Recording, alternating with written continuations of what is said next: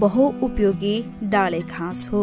यसको पात नरम तथा बाह्रै महिना हरियो रहिरहने भएकोले सबै पशु वस्तुहरूले मन पराएर खाने गर्दछ।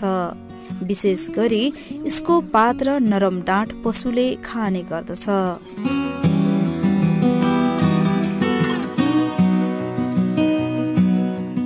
पशुपालन किसानले किम्बुको व्यावसायिक खेती पनि गर्न सकिन्छ। किम्बुको नरम पातलाई रेशम किराले खुवाएर रेशम खेती पनि गर्न सकिन्छ।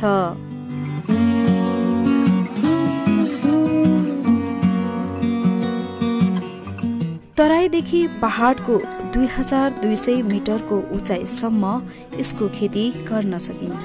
यसलाई एक पटक रोपेपछि वर्षो उत्पादन लिन सकिन्छ।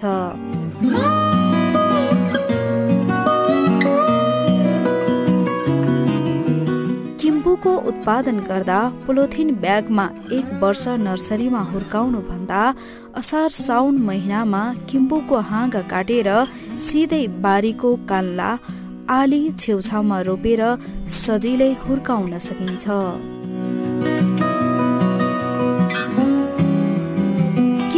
फागुन महिनादेखि बलुवा पलाएर चैत महिनादेखि काट्नको लागि तयार हुन्छ।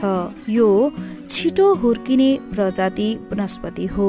यो डाले घाँस बाह्रै महिना काटेर पशु वस्तुलाई खुवाउन सकिने हुँदा व्यावसायिक रूपमा पशुपालन गर्ने किसानका लागि उपयोगी मानिन्छ। कम मेहनतमै धेरै उत्पादन हुने भएकोले पनि किम्बुको व्यावसायिक खेतीतर्फ धेरैको रुचि बढ्न थालेका छन्। किम्बुमा प्रोटिन क्याल्सियम र चिनीको मात्रा प्रशस्त पाइने हुनाले पशुपालनका लागि उपयुक्त आहार मानिन्छ।